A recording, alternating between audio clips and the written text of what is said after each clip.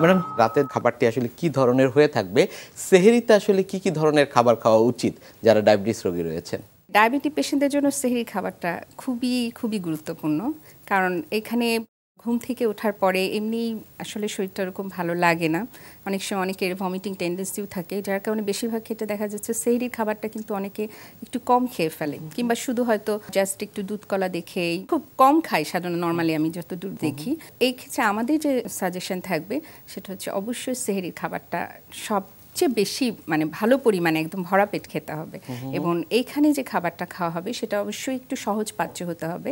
সহজ পাচ্য বলতে যেটা বুঝাবো বেশি ঝাল মশলাযুক্ত খাবারটা এই সময় না খাওয়াই ভালো কারণ এর পরপরই কিন্তু সারাদিন ফাস্টিং থাকা লাগবে।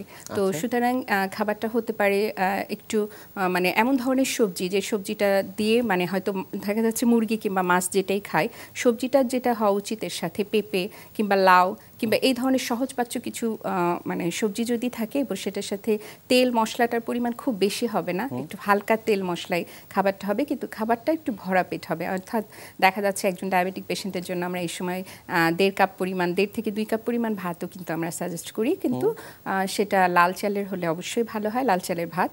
আর সাথে একটু ডাল থাকবে মাছ মাংস তো থাকবেই পরিমাণ মতো।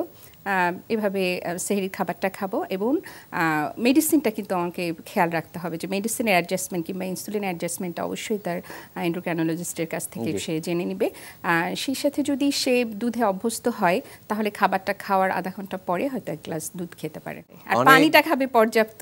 অনেক অনেক পানি খেতে হবে কারণ সারাদিন তাকে পানি শূন্যতা থেকে মুক্ত থাকতে পারে। অনেক ধন্যবাদ আপনাকে। আমাদের আজকের এই অনুষ্ঠানে আসবার জন্য। আপনাকেও অসংখ্য ধন্যবাদ এবং একই সাথে এনটিভিকেও ধন্যবাদ। প্রিয় দর্শক, এতক্ষণ দেখছিলেন বিআরবি হসপিটাল লিমিটেড স্বাস্থ্য প্রতিদিন কথা বলছিলাম খুব গুরুত্বপূর্ণ একটি বিষয়, রমজানে ডায়াবেটিস রোগীদের খাদ্যাভ্যাস নিয়ে।